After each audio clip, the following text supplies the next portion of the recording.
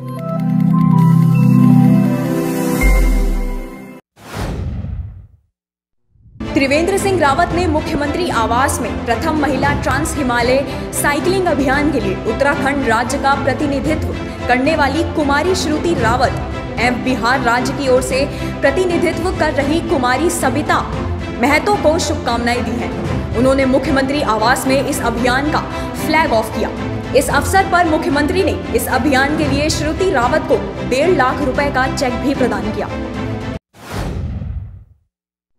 Samajwadi party के राष्ट्रीय अध्यक्ष अखिलेश यादव ने किसानों के आंदोलन के मुद्दे पर स्पष्ट कर दिया है कि भाजपा सरकार ने जिस प्रकार किसानों को निरंतर उपेक्षित, अपमानित व आरोपित किया है, उससे किसानों के अंदर रोष और ज़्यादा बढ़ गया। जिन लोगों का चेहरा सामने आ रहा है जांजगीर चांपा में बैंक से प्रधानमंत्री आवास के पैसे को निकालकर घर लाए लोगों को अज्ञात व्यक्तियों के द्वारा रात नशीला पदार्थ सुंगाकर जानलेवा हमला कर सोने के जेवर, पैसे लेकर फरार घायल लोगों को पामगढ़ स्वास्थ्य केंद्र में भर्ती कराया गया, जहाँ से बिलासपुर रेफर किया गया। जांजगीर चांपा से दीपक यादव की रिपोर्ट।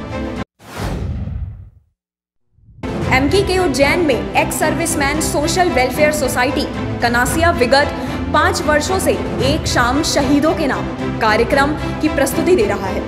उसी कड़ी को आगे बढ़ाते हुए इस वर्ष भी कार्यक्रम का आयोजन किया। मुख्य अतिथि मेजर जनरल श्याम वास्तव, कर्नल श्रीवास्तव, शाजापुर से आर आई विक्रम भदौरिया और कई गणमान्य लोग पहुँचे।